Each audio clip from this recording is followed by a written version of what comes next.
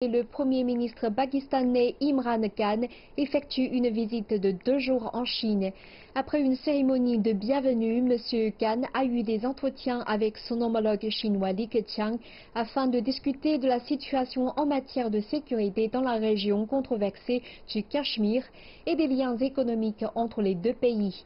Il s'agit de sa troisième visite en Chine depuis son entrée en fonction l'an dernier. Le cabinet de M.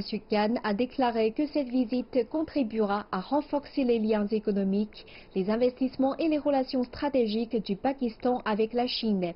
Il assistera également à la cérémonie de clôture de l'exposition horticole internationale de Beijing qui devra se tenir mercredi demain.